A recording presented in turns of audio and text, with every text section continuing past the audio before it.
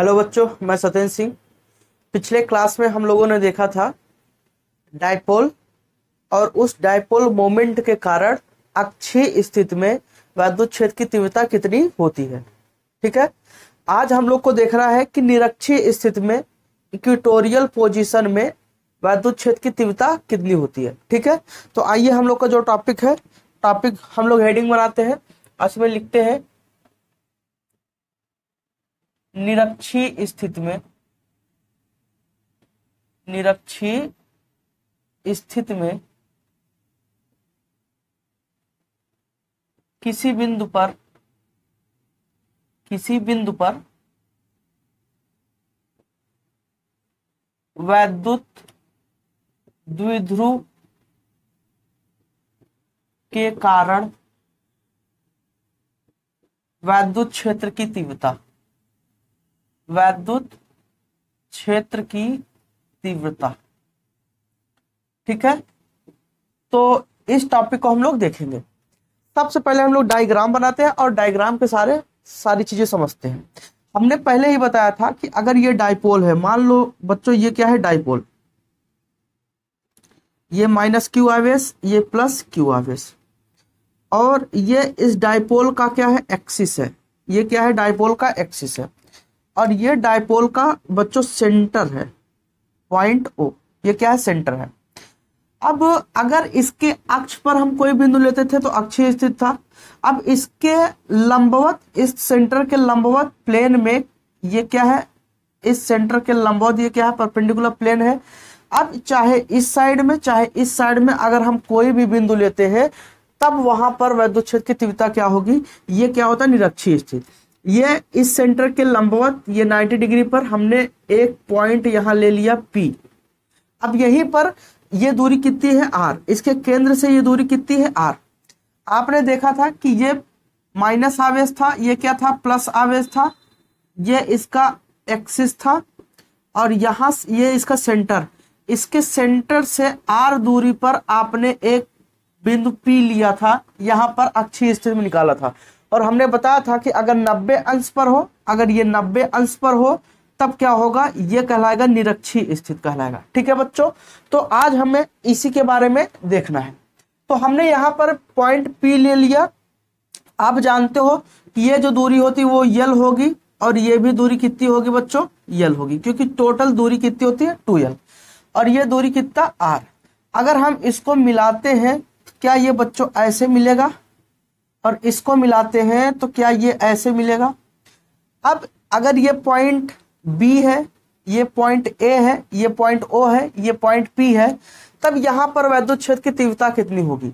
तो आप जानते हो कि ये आवेश है क्यू आवेश, यहाँ से आर दूरी पर अगर हमें वैद्युत क्षेत्र की तीव्रता निकालनी है तो क्या फार्मूला यही होता है? क्यू बाई आर स्क्वायर क्या यही फार्मूला होता है? तो अब इस प्लस आवेश के कारण अगर हम यहाँ पर वैद्युत क्षेत्र की तीव्रता निकालें तो वैद्युत क्षेत्र की तीव्रता यहाँ निकलेगी। लेकिन बच्चों, हमें क्या देखना होगा? डायरेक्शन भी देखना होगा, दिशा भी देखनी होगी। तो अब इस प्लस क्यू आवेश के कारण अगर यहाँ पर हम वैद्युत क्षेत्र की तीव्रता निकालते हैं तो कितना होगा? मान लेते हैं इवन होगा। अब इसकी दिशा बच्चों कितनी होगी? अगर दिशा की बात करें तो आप जानते हो कि अगर दिशा निकालना है तो यहाँ पर एक प्लस चार्ज रख लो।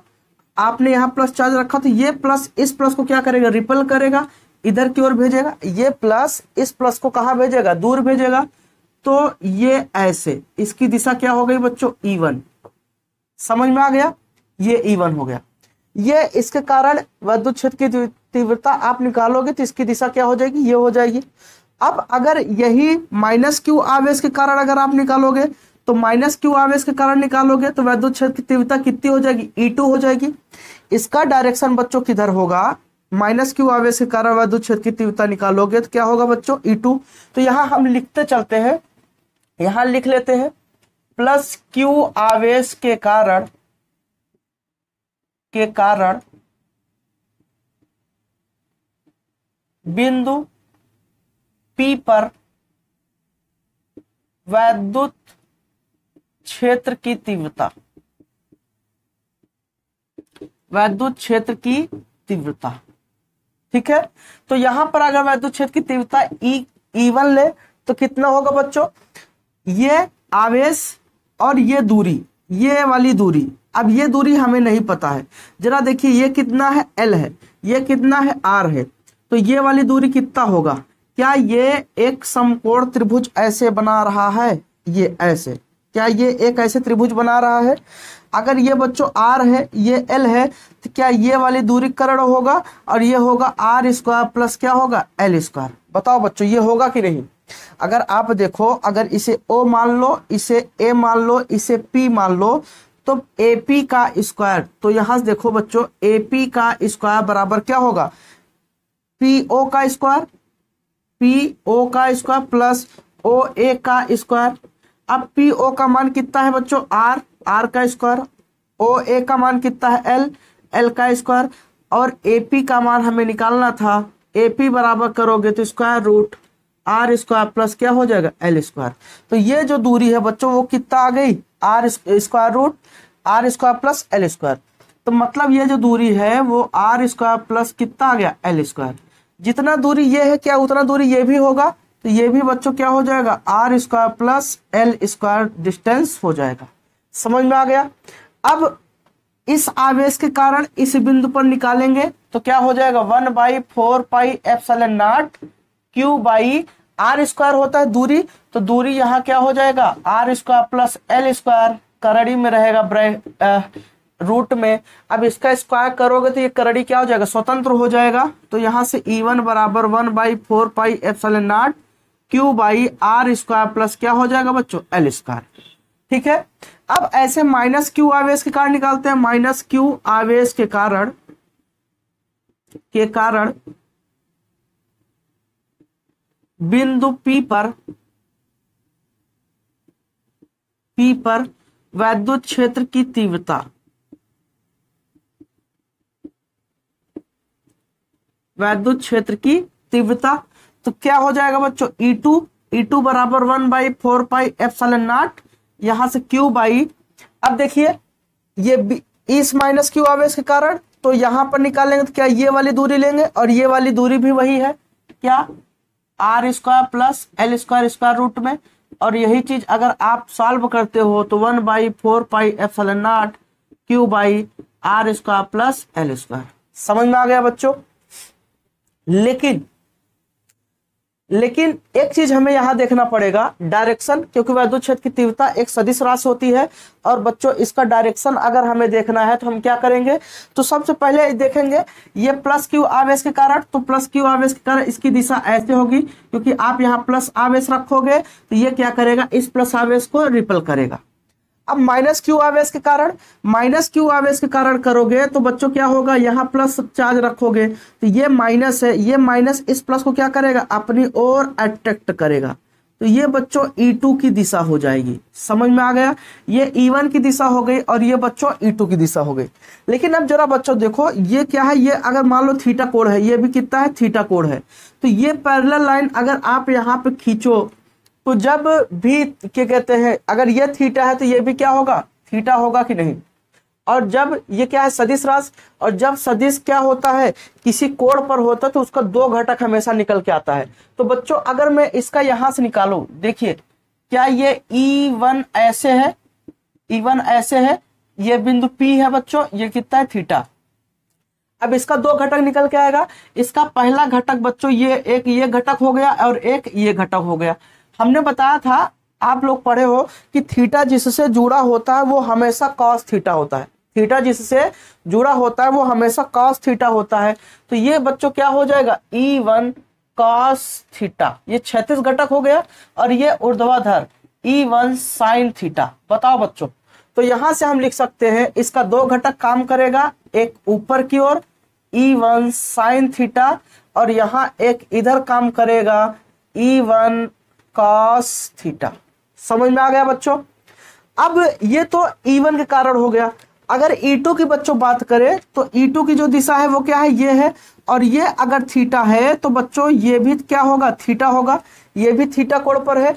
तो इसके भी दो घटक काम करेंगे। तो बच्चों, अगर इसकी बात हम करें तो ये बिंदु P हो गया। और ये इसका डायरेक्शन है बच्चों, क्या? E2 और ये अगर देखा जाए तो क्या ये थीटा कोण पर है? तो अगर देखा जाए तो इसके भी दो घटक आएँगे। एक इधर आएगा, एक इधर आएगा। तो ये बच्चों क्या होगा? थीटा इससे जुड़ा है तो ये क्या होगा? E two cos theta. जिससे थीटा जुड़ा था वो हमेशा कास थीटा होता है।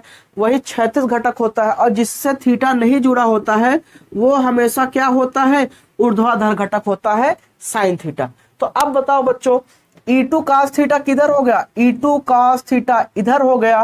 और इधर आ जाएगा बच्चों, ये वाला जो है, ये हो जाएगा, क्या हो जाएगा? ई टू साइन थीटा हो जाएगा। समझ में आया कि नहीं बच्चों? बताओ। अब अगर देखिए, ये दोनों का अलग अलग है और ये दो के दोनों बिंदु पी पर ही काम कर रहे हैं। अगर इन दोनों को मैं साथ में अगर इसका डायग्राम बनाऊँ तो जरा आप देखिएगा। मैं इसे मिटा रहा हूँ, आप इसे नोट कर लीजिएगा, ठीक है? तो यहाँ पे अगर मैं दोनों का डायग्राम सेट करूँ बच्चों तो क्या होगा? देखते हैं। तो ये बिंदु पी ऊपर की ओर ई वन साइन थीटा नीचे की ओर E two sine theta sine theta इधर की ओर E one sine E one theta और इधर की ओर ई टू कॉस थीटा और ये बच्चों क्या है? ई टू है। और ये बच्चों क्या है? ई वन है। ठीक है? अब यहाँ पर ये चीज़ है, ये कोण थीटा और ये भी क्या था? थीटा तो अब हमें बच्चों क्या देखना है? यहाँ पर ई e की बात करेंगे तो यहाँ पर बच्चों देखो, अगर ई e वन और E two E one E one का मान one by four five seven naught Q by R square plus L square E two का मान one by four seven naught Q by R square plus L square क्या दोनों मान E e one और E two का same है? तो इसका मतलब कि अगर ये मान और ये मान बराबर है, जरा समझिएगा ई वन और ई टू क्या है? बराबर है। अगर ये बराबर है तो ये एक दूसरे को क्या करेंगे? कैंसिल करेंगे, क्योंकि विपरीत दिशा में है। तो इनका जो इफ़ेक्ट हो जाएगा, बच्चों, वो क्या हो जाएगा? ज़ीरो हो जाएगा। मतलब ये दोनों सदिश राशि है, एक दूसरे के विपरीत है और अगर आप इसका टोटल करोगे, इसका आप टोटल करोगे टोटल अगर आप करोगे तो ये क्या हो जाएगा? अपने आप ये दोनों एक दूसरे को क्या कर देंगे? कैंसिल कर देंगे, क्योंकि इवन साइन थीटा में अगर ई टू साइन थीटा घटाओ क्या हो जाएगा? ज़ीरो हो जाएगा। क्यों? क्योंकि इवन और ई टू का मान क्या है? सेम है, ठीक है? अब लेकिन बच्चों, ये वाली घटक देखते हैं छैतीस वाला जो घटक है, ये दोनों एक ही दिशा में है आप जानते हो, जब दो सदिश एक ही दिशा में कार्य करते हैं, ये सदिश है, बच्चों, ये पॉइंट ए है और इस पर एक सदिश पी लग रहा है और इधर ही क्या लग रहा है? क्यू तो इसका जो परिणाम भी आता था, क्या पी प्लस क्यू आता था? क्योंकि दोनों एक ही दिशा में है तो ये क्या हो जाएँगे? अगर यहाँ पर कुल वैद्युत क्षेत्र की तीव्रता निकालेंगे तो क्या हो जाएगा? तो यहाँ क्या हो जाएगा? कुल वैद्युत क्षेत्र की तीव्रता, कुल वैद्युत क्षेत्र की तीव्रता। अगर बच्चों कुल वैद्युत क्षेत्र की तीव्रता निकाले ई बराबर तो क्या हो जाएगा? E one cos theta plus E two cos theta बताओ बच्चों, क्या ये दोनों आएगा? और यही से अगर मैं इन सब की बात करूँ तो यहाँ से अगर मैं वैल्यू पुट करूँ बच्चों तो क्या होगा? जरा मैं मिटा रहा हूँ, ठीक है? आप इसे नोट कर लीजिए, थोड़ा मैं यहाँ से मिटा रहा हूँ। अगर बच्चों मैं इसी की बात करूँ तो यहाँ पर क्या हो जाएगा? ई वन ई वेक्टर बराबर। ई वन का मान बच्चों कितना है? One by four pi F naught कितना है? One by four pi F naught Q by R square plus L square ठीक है बच्चों? और यहाँ पर क्या है? कॉस थीटा प्लस यहाँ पर ई टू का मान कितना है? ये है one by four pi F nought Q by R square plus L square और ये बच्चों क्या हो जाएगा? कॉस थीटा समझ में आ गया बच्चों? ठीक है? अब जरा हम देखेंगे यहाँ पर यही वैल्यू अगर हम देखें तो बच्चों देखो, ये भी सेम और ये भी सेम तो ये एक और ये भी एक. क्या हो जाएगा? दो हो जाएगा. तो दो गुड़ते one by four pi epsilon nought Q by R square plus L square और इन टू कॉस थीटा ठीक है बच्चों? ये वैल्यू हो गई. अब यहाँ बच्चों हम लोग देखते हैं, अब हमें यहाँ क्या चाहिए? कॉस थीटा का मान चाहिए। किसका मान चाहिए बच्चों? कॉस थीटा का। तो कॉस थीटा इसे समीकरण, ये बच्चों क्या है? ई e वेक्टर ठीक है? समीकरण एक बना दीजिए। ये समीकरण क्या हो गया बच्चों? एक हो गया। अब यहाँ देखते हैं, चूँकि अगर हम इस चित्र में देखें, त्रिभुज पी बी ओ त्रिभुज पी बी ओ से अगर यहाँ से बच्चों बात करें तो बच्चों, ये क्या हो गया? त्रिभुज हो गया। ये ऐसे त्रिभुज हो गया, ये। ये P हो गया, ये B हो गया, ये O हो गया। ये 90 अंश है, और ये बच्चों, क्या थीटा है? ये दूरी कितनी है? L है। ये दूरी कितनी है? R है। और ये बच्चों, कितना है? R square plus L square है कि नहीं बच्चों? अब ये दूरी है। अब यहाँ से अगर बच्चों में कॉस थीटा निकालू, क्योंकि यहाँ सवाल में क्या है? Cos theta.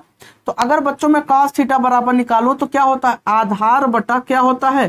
कर्ण होता है।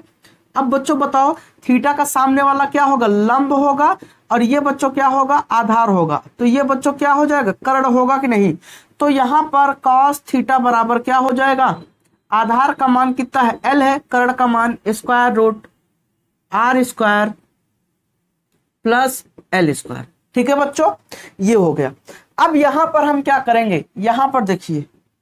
कॉस थीटा का मान कॉस थीटा का मान समीकरण एक में रखने पर। ठीक है बच्चों? तो समीकरण एक में रखते हैं तो समीकरण एक क्या है? ई e बराबर दो गुड़ते one by four pi F nought. और यहाँ से क्या है बच्चों? यहाँ से क्या है? Q by R square plus L square ठीक है?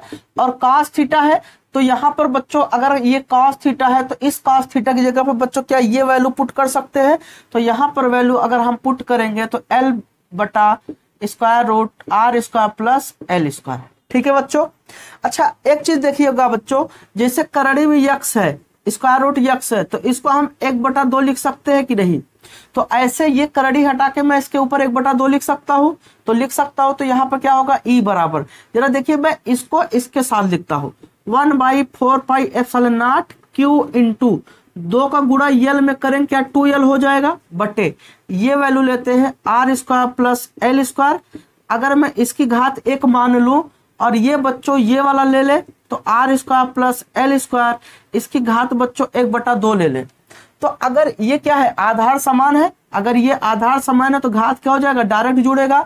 तो एक में अगर एक बटा दो जोड़ोगे तो कितना? तीन बटा दो आएगा कि नहीं बच्चों? बताओ, अगर इस एक घात में अगर ये एक बटा दो जोड़ोगे तो कितना? तीन बटा दो। तो यहाँ से ई e बराबर one by four pi epsilon nought, और ये देखे क्यू इंटू टू एल क्या होता है बच्चों? पी होता है। डाइपोल मोमेंट होता है ना? और यहाँ से क्या हो जाएगा? R square plus L square घात कितना? तीन बटे दो हो जाएगा। क्लियर है बच्चों? ये इतना हो गया। अब बच्चों आगे बात करते हैं। थोड़ा मैं इसे फिर से मिटा रहा हूँ।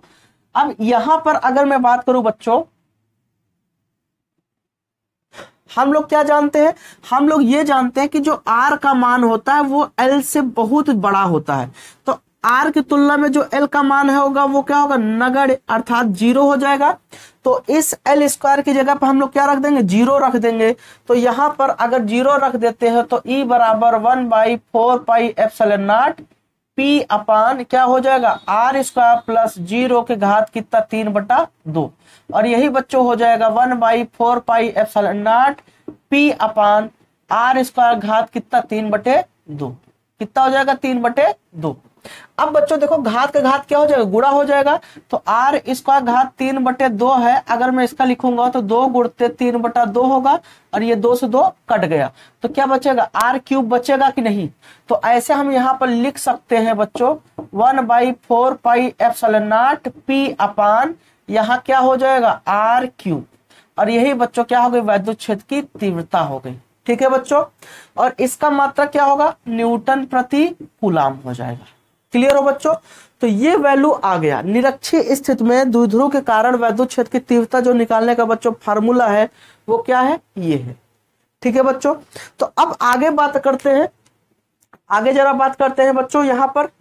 तो अब यहाँ हम जब बात करेंगे इसका दिशा की डायरेक्शन डायपोल का जो डायरेक्शन है वैद्युत क्षेत्र की तीव्रता की दिशा क्या होगी, क्योंकि जो वैद्युत क्षेत्र होता है, वो एक क्या होता है, सदिश राशि होता है। अब बच्चों वैद्युत क्षेत्र की तीव्रता की दिशा तो बच्चों वैद्युत क्षेत्र की तीव्रता की दिशा जरा समझिएगा, कहाँ से कहाँ होगा। अगर हम यहाँ देखें, ये चित्र थोड़ा बना के फिर से देखें, ये डाइपोल है, ये माइनस क्यू है, ये क्या है, प्लस क्यू है। और ये बच्चों, क्या है, इसका सेंटर ओ। और यहाँ पर दोनों है, ई वन कॉस थीटा और ये ई टू कॉस थीटा ये एक दूसरे को बच्चों क्या कर दिए हैं? कैंसिल कर दिए हैं। ई टू साइन थीटा और ये ई वन साइन थीटा ये एक दूसरे को बच्चों क्या कर दिए है? कैंसिल कर दिए हैं। इसका मान क्या हो गया? ज़ीरो तो जो नेट वैद्युत क्षेत्र है बच्चों, वो किधर है? इधर है। तो वैद्युत क्षेत्र की तीव्रता की दिशा भी किधर होगी? इधर होगी। लेकिन हम कैसे लिखेंगे? हम कैसे लिखेंगे? आप जानते हो जो पी की दिशा है, जो पी की दिशा है पी की दिशा, ये क्या डाइपोल मोमेंट है। डाइपोल मोमेंट और इसकी दिशा हमेशा ऋणात्मक आवेश से, ऋणात्मक चार्ज से कहा होता है? धनात्मक चार्ज की ओर। निगेटिव चार्ज से पॉजिटिव चार्ज की ओर होता है। अगर बच्चों, ये निगेटिव चार्ज से पॉजिटिव चार्ज की ओर होता है पॉजिटिव चार्ज की ओर होता है तो इसकी दिशा बच्चों कहाँ होगी? कुछ इस प्रकार से होगी, ये डाइपोल की दिशा। अब अगर इसी के पैरेलल देखा जाए तो क्या ये है? तो इसकी दिशा डाइपोल की दिशा, इसकी दिशा निरक्षी स्थिति में उत्पन्न जो वैद्युत क्षेत्र की तीव्रता की दिशा है, वो डाइपोल के समांतर विपरीत दिशा में होगी। समझ में आ गया? ये डायपोल का क्या पैरेलल है? समान दूरी पर। और ये इधर है तो ये क्या है? इधर। डायपोल के समांतर उसके विपरीत दिशा में होगी। ठीक है? तो यहाँ पर बच्चों, इसकी दिशा की अगर मैं बात करूँ डायरेक्शन की बात करूँ तो बच्चों हम लिख लेते हैं डायरेक्शन तो निरक्षी स्थिति में, निरक्षी स्थिति में वैद्युत क्षेत्र की तीव्रता की दिशा, वैद्युत क्षेत्र की तीव्रता की दिशा, वैद्युत द्विध्रुव वैद्युत द्विध्रुव की अक्ष के समांतर, अक्ष के समांतर तथा वैद्युत द्विध्रुव वैद्युत द्विध्रुव आघूर्ण के के विपरीत दिशा में होता है। निरक्षीय स्थिति में वैद्युत क्षेत्र की तीव्रता की दिशा वैद्युत द्विध्रुव के अक्ष के समांतर। ये क्या है? वैद्युत द्विध्रुव है और इसके अक्ष के समांतर समांतर क्या बच्चों, यही होगा। समांतर तथा वैद्युत द्विध्रुव के आघूर के विपरीत दिशा मतलब द्विध्रुव का आघूर्ण की जो दिशा है, वो इधर है तो इसकी दिशा कहाँ है? इधर, समांतर और विपरीत दिशा में होता है, ठीक है? तो हम लिख सकते हैं, अर्थात अर्थात पॉजिटिव चार्ज से निगेटिव चार्ज की ओर पॉजिटिव चार्ज से निगेटिव चार्ज की ओर। ठीक है बच्चों? तो पॉजिटिव चार्ज से निगेटिव चार्ज की ओर इसकी डायरेक्शन होगी। ठीक है बच्चों? तो ये निरक्षी स्थिति में वैद्युत क्षेत्र की तीव्रता का फार्मूला था। ठीक है? अब बच्चों एक चीज़ देखेंगे। हम लोगों ने देखा था, एक अच्छी स्थिति देखा था और एक निरक्षी स्थिति हम लोगों ने देखा। अब यहाँ पर एक बात बच्चों करेंगे।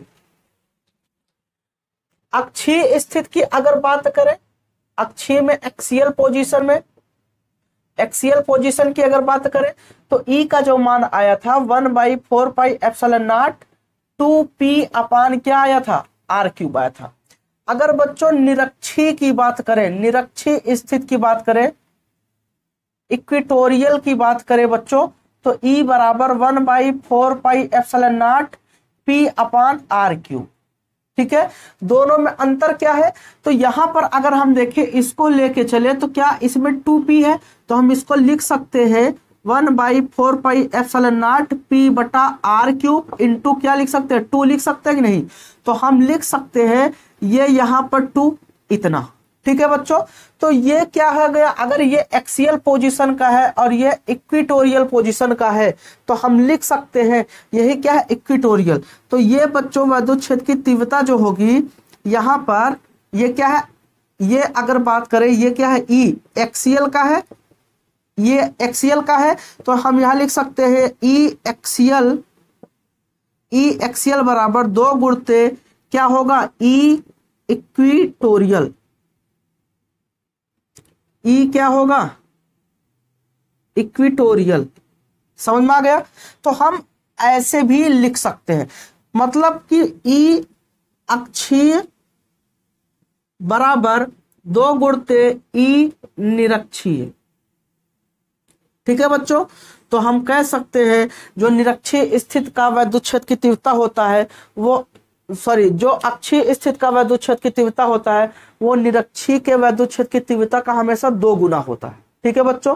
तो कई बार सवाल आप सॉल्व करोगे तो आपको सवाल में अक्षीय और निरक्षी दोनों को निकालने को मिलेगा। ठीक है? तो वहाँ पे आप सीधा ये काम कर सकते हैं। तो अगर बच्चों, यहाँ से अगर हम देखें,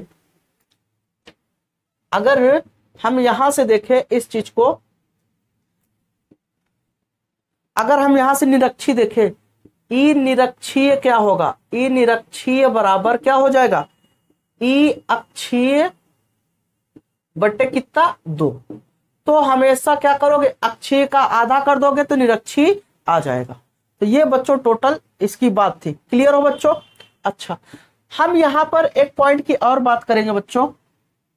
जैसे हम लोगों ने देखा कि वैद्युत क्षेत्र की तीव्रता का जो मात्रक होता है, वो क्या होता है? न्यूटन प्रति कुलाम होता है। वैद्युत क्षेत्र की तीव्रता का जो मात्रक होता है, वो क्या होता है? न्यूटन प्रति कुलाम वैद्युत क्षेत्र की तीव्रता का मात्रक क्या होता है बच्चों? न्यूटन प्रतिकूला। क्या यही होता है? न्यूटन प्रतिकूला। ठीक है? बच्चों, एक मात्रक और होता है। देखते हैं।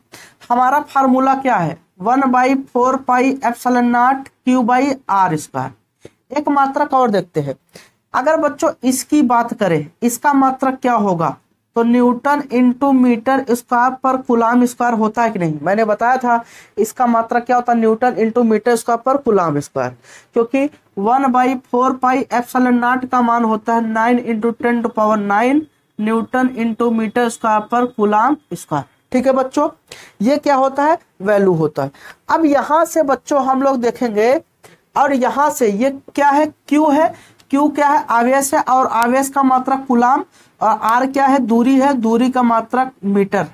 तो यहाँ स्क्वायर है तो मीटर स्क्वायर अब बच्चों, एक चीज़ देखते हैं। आप एक काम करो, एक मीटर से एक मीटर काटो। दोनों मत काटना, एक काटना। क्या हो जाएगा? Newton into metre. क्या हो जाएगा? Newton into metre. और एक कुलाम से एक कुलाम यहाँ कट गया। न्यूटन इंटू मीटर बटे। ये क्या हो जाएगा? कुलाम। और यहाँ एक एक कटा है ना? तो एक मीटर। अब आप जानते हो न्यूटन इंटू मीटर क्या होता है बच्चों? जूल होता है क्या? न्यूटन, अगर देखा जाए, न्यूटन इंटू मीटर क्या होता है? जूल होता है, क्योंकि कार्य बराबर क्या होता है? बल गुड़ते विस्थापन। विस्थापन, बल का मात्रक न्यूटन, विस्थापन का मात्रक मीटर, और यही क्या हो जाएगा बच्चों? जूल। तो ये बच्चों क्या होगा? जूल होगा। तो हम यहाँ लिख सकते हैं बच्चों, क्या जूल लिख सकते हैं कि नहीं? क्या हो गया? जूल हो गया। जूल बटे कुलाम। जूल बटे कुलाम इंटू मीटर। अब बच्चों एक चीज़ बताओ। आपने कक्षा दस में v बराबर डब्ल्यू अपान क्यू पढ़ा है? अगर देखा जाए तो विभव बराबर कार्य बटा आवेश। आपने कक्षा दस में पढ़ा है बहुत अच्छे तरीके से। कार का मात्रा क्या होता है? जूल। आवेश का मात्रा कुलाम तो जूल प्रति कुलाम और यही बच्चों क्या कहलाता है? वोल्ट कहलाता है। क्या कहलाता है? वोल्ट। तो जूल प्रति कुलाम बच्चों क्या हो जाएगा? वोल्ट हो जाएगा। और ये बच्चों क्या है? मीटर। तो वोल्ट पर मीटर। तो एक चीज़ हम और कह सकते हैं। वैद्युत क्षेत्र की तीव्रता का जो एक और मात्रक होता है, वो होता है बच्चों वोल्ट पर मीटर। वोल्ट पर मीटर। ठीक है बच्चों? वोल्ट पर मीटर। तो ये चाहे ये मात्रक कहा जाए, चाहे ये मात्रक कहा जाए, दो के दोनों मात्रक सेम है। क्लियर हो बच्चों? अच्छा अब एक चीज़ की और मैं बात कर ले रहा हूँ यहाँ से। अगर एक चीज़ की और मैं बात करूँ यहाँ पर तो अगर इससे डायपोल वाले से निकाले तो यहाँ पर क्या होगा? ई e बराबर क्या होता है? One by four pi epsilon nought P upon क्या होता है? आर क्यूब ये था डायपोल का फार्मूला। तो यहाँ से देखें, इसका मतलब क्या होगा? न्यूटन इंटू मीटर स्क्वायर बटे कुलाम स्क्वायर और इसका डायपोल का कुलाम इंटू क्या हो जाएगा बच्चों? मीटर हो जाएगा। और ये क्या हो जाएगा बच्चों? यहाँ मीटर क्यूब। आर है आर का मतलब क्या होगा? मीटर। तो ये क्या हो जाएगा बच्चों? Metre cube. अब बच्चों, यहाँ से देखते हैं, यहाँ से अगर बात करें तो यहाँ से क्या हो जाएगा? न्यूटन, देखो, मीटर और मीटर स्क्वायर कट गया तो न्यूटन इंटू ये मीटर इंटू कुलाम बटा कुलाम स्क्वायर इंटू यहाँ क्या हो जाएगा? मीटर, क्योंकि ये दो से एक कटा है तो यहाँ कितना बचा है? एक बचा है ना? तो यहाँ से ये हो गया। एक कुलाम से एक कुलाम कट गया तो newton into metre, coulomb into metre. Newton into metre बच्चों क्या हो गया? जूल हो गया। और ये बच्चों क्या है? कुलाम है। सी क्या है? कुलाम। और ये क्या है? मीटर। तो जूल प्रति कुलाम बच्चों क्या हो गया? वोल्ट हो गया। क्या हो गया? वोल्ट। और ये बच्चा बच्चा क्या? बटे में मीटर तो वोल्ट पर मीटर। तो दो के दोनों चीज़ क्या है? बच्चों सेम है। तो ये था निरक्षी स्थिति में वैद्युत क्षेत्र की तीव्रता। ठीक है बच्चों? तो अगर वीडियो आपको पसंद आया, अगर आपको अच्छा लगा है तो वीडियो को ज़रूर लाइक करें। आप अपने दोस्तों में ज़्यादा से ज़्यादा ग्रुप में आप शेयर कीजिए। और अपने दोस्तों को बताइए कि जी आर एस अकेडमी पे आप फिजिक्स बहुत अच्छे से पढ़ सकते हैं। थ्योरी के साथ न्यूमेरिकल भी बहुत अच्छे से पढ़ सकते हैं। और चैनल को सब्सक्राइब नहीं किया है तो चैनल को ज़रूर सब्सक्राइब करें और आप हमारा भी हेल्प करें ताकि हम भी इम्प्रूव हो सके, हम भी आगे बढ़ सके और आपको भी आगे बढ़ा सके। ठीक है बच्चों?